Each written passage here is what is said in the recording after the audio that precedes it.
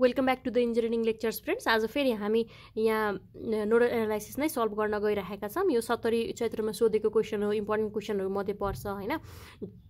यसमा चाहिँ यो त हामीले योभन्दा अगाडि पनि यस्तो यस्तो टाइपको क्वेसन गरिसकेका थियौँ डिल गरिसकेका छौँ।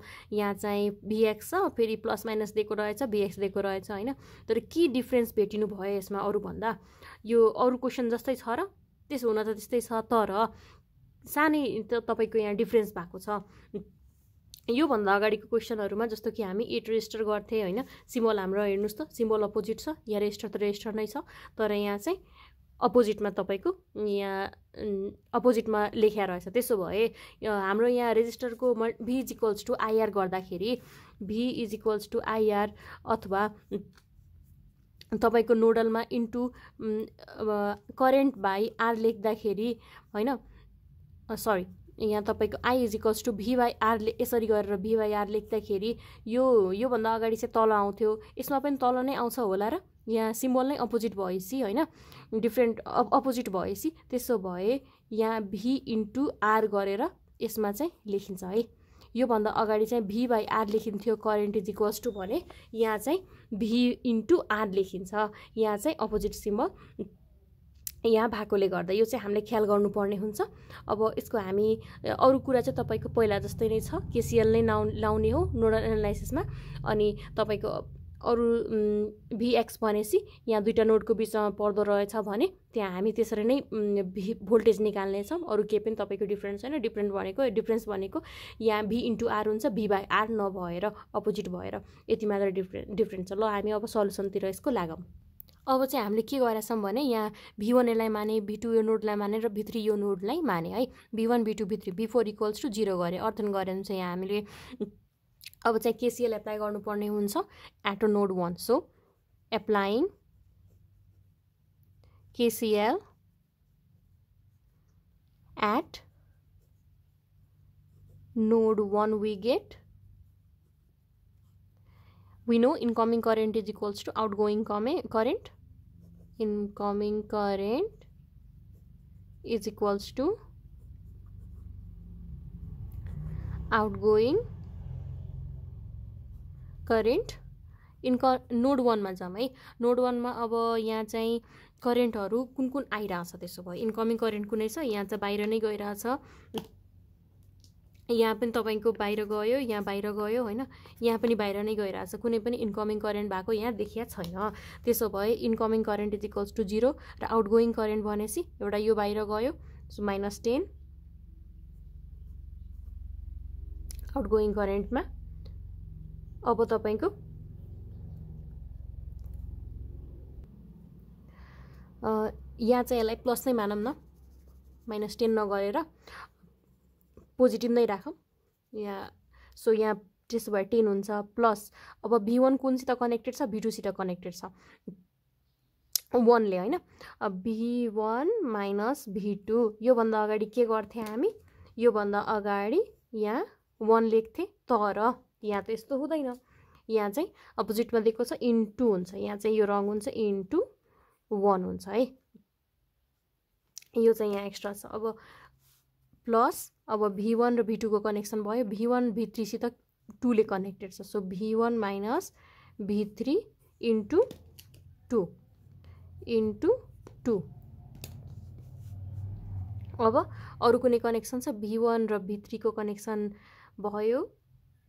भी वान र भी थ्री भयो। भी वान भी वान अनि भी टू पनि भयो। अरू कुनै यहाँ पनि हामीले लिइसकेका छौँ। अब त्यसो भए छैन। अब हामी यसलाई भी वान र भी टूहरू एउटै ठाउँमा मिलाएर एरेन्ज गरेर लेख्नुपर्ने हुन्छ। त्यसो भए थ्री भी वान हुन्छ। Minus V two minus two V three is equals to minus ten हुन्छ। यो भयो हाम्रो इक्वेसन वान। यसलाई इक्वेसन वान हामीले लेट गऱ्यौँ। अब चाहिँ के गर्नुपर्ने हुन्छ हामी अर्को नोड अर्को नोडमा जाऊँ। कुन नोड भनेपछि नोड टूमा जाऊँ। एप्लाई गरौँ। KVL at node two. So applying KVL at node two. We get we know incoming current is equals to outgoing current.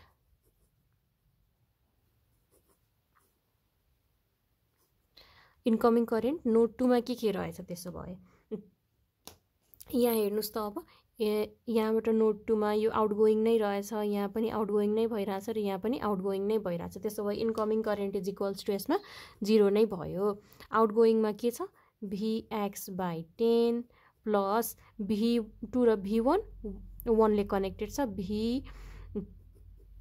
V one minus V two into into one अब भी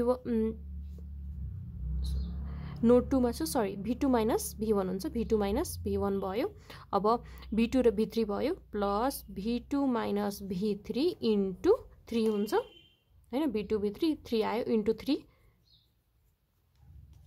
अब अरू कुनै छ? यहाँ भयो यो भयो तिनटै भइसक्यो होइन? अरू कुनै कनेक्सन छैन। त्यसो भयो अब फेरि हामी यहाँ चाहिँ के गर्छौँ? एरेन्ज गर्छौँ। र त्योभन्दा अगाडि भिएक्सको के भ्यालु रहेछ? त्यो हामी यहाँ पुट गर्छौँ। भनेपछि भिएक्स कसरी भ्यालु फाइन्ड आउट गर्ने? त्यसो भयो होइन? हेर्नुहोस् त यहाँ भिएक्स भनेको हाम्रो भिएक्स यहाँ लेखिरहेछ प्लस माइनस भनिरहेछ फ्लु पनि देखाइरहेछ र भी भनेपछि भोल्टेज हुन्छ होइन? त्यसो भए भी टू र भी थ्री लेख्न सकिन्छ। V two minus V three V two minus V three भिएक्सको ठाउँमा बाई टेन अब भोल्टेज भनेको छ होइन? त्यसै लागि हामी भोल्टेज मात्र लेख्यौँ। अब कतिपय इन् कतिपयले झुकेर होइन? इन्टु थ्री नलेखिदिनु होला। यो गर्नुभयो भने यो मिस्टेक हुन्छ। हामीलाई यहाँ भोल्टेज मात्र भन्या रहेछ त्यसै लागि हामी भोल्टेज मात्र लेख्छौँ। करेन्टहरू निकाल्दा हामीलाई भन्या छैन त्यस्तो केही पनि अहिले। त्यसै लागि त्यस्तो लेख्न मिलेन। भोल्टेज भनेपछि भोल्टेज मात्र हुन्छ र त्यति गरेपछि भोल्टेज हाम्रो आइहाल्छ। Plus V two minus V one भयो plus V two minus V three into three is equals to zero. अब यसलाई तपाईँले मिलाएर लेख्नुभयो भने तपाईँको आउँछ minus ten V one plus forty one V two minus four four V three is equals to zero which is equation two यो equation two भयो। हामीले नोडल एनालाइसिस केभी सरी यहाँ केसिएल हुन्छ सरी मिस्टेक भयो। केसिएल हामीले यहाँ note टूमा apply गरिसकेका छौँ। अब हामी नोट थ्रीतिर लाग्छौँ र केभी केसिएल एप्लाई गर्छौँ node थ्रीमा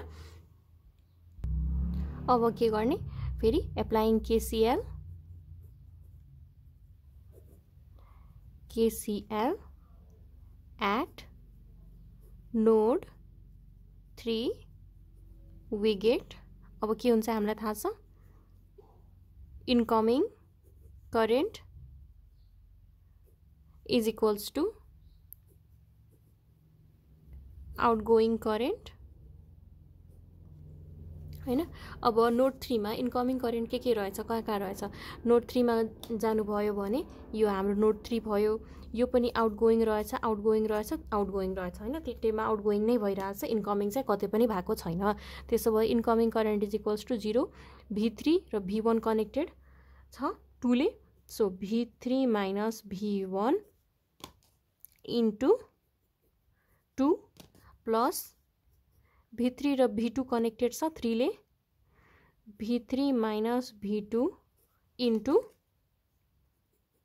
three plus V three minus V four होइन इन्टु फाइभ इन्टु फाइभ र V four is equals to zero हुन्छ यो हामीलाई थाहा छ अलरेडी अब यसलाई एरेन्जमा गरेर लेख्नुभयो भने तपाईँको आउँछ two V one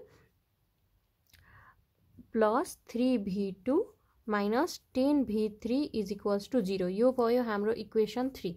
अब अन अब हामीले के गर्नुपर्ने हुन्छ? Unsolving equation one two three we get लेख्नुपर्ने हुन्छ। Unsolving equation one two three we get V one is equals to minus four point six one seven volt V two is equals to minus one point two five two volt V three is equals to minus one point two nine nine volt यो हाम्रो आउँछ। Answer र हामीलाई भन्या छ current flowing through each resistor भनेर भन्या रहेछ होइन?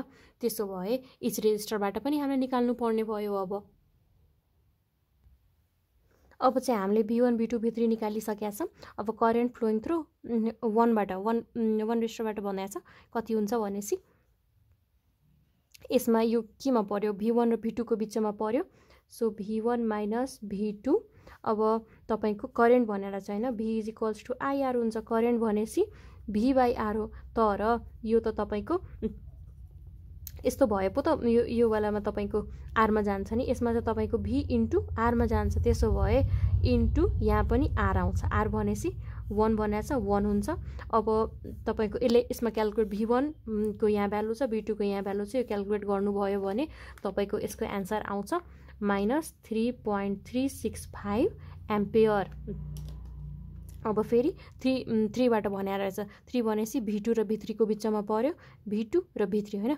So V two minus V three अब इन्टु थ्री गर्नु पऱ्यो यसबाट अब भी वान र भी टू भी भी टू भनेपछि यहाँ भी थ्री भनेपछि यहाँ यसलाई क्यालकुलेट गर्नुभयो भने तपाईँको यहाँबाट एन्सर आउँछ। Zero point one four one ampere अब के भनेको छ भने टु टूबाट टू भनेपछि यहाँ भने भी वान र भी थ्रीको बिचमा पऱ्यो so V one minus V three into two is equals to यसको एन्सर के आउँछ भनेपछि minus six point six three six ampere अब फाइभबाट भनेर चाहिँ निकाल्नु होइन? फाइभ भनेपछि भी थ्री भी थ्री मात्र पऱ्यो भी फोर भी फोर भनेपछि यतिको पनि जिरो हुन्छ हामीलाई थाहा छ त्यो कुरा। So V three into five गर्नुभयो भने यसको एन्सर आउँछ minus six point four nine five ampere यसको यो एन्सर आउँछ। अब यसरी हामी फाइन्ड आउट गर्न सक्छौँ।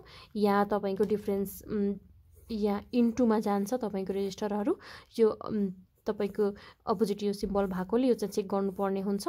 इफ तपाईँको यो भएको भए V one minus V two by by R हुन्थ्यो विच इज भनेपछि तपाईँको यहाँ आरको ठाउँमा वान हुन्छ। तल आर तल आर जाने र यहाँ इन्टु इन्टुमा आठ जाने यति मात्र फरक हुन्छ। यो सिम्बल चाहिँ हेर्नुपर्ने हुन्छ र यही हिसाबले तपाईँलाई नजुकिएर मिलाएर गर्नुपर्ने हुन्छ। अरू सबै तपाईँको सेम नै छ केही पनि डिफ्रेन्स छैन। यसरी गरेर नोडल एनालाइसिस इजिली तपाईँले गर्न सक्नुहुन्छ केही पनि खासै गाह्रो पनि छैन। कन्सेप्टहरू आई थिङ्क तपाईँको क्लियर भइसक्यो होला। यति धेरै इक्जाम्पलहरू चाहिँ तपाईँले हेर्नु भएको छ आगामी दिनहरूमा पनि म अझै पनि भिडियोजहरू लिएर आउनेछु। सो मेरो च्यानल सब्सक्राइब गरिदिनु होला लाइक गरिदिनु होला र साथीहरूमा पनि सेयर गरिदिनु होला। Thank you for watching the video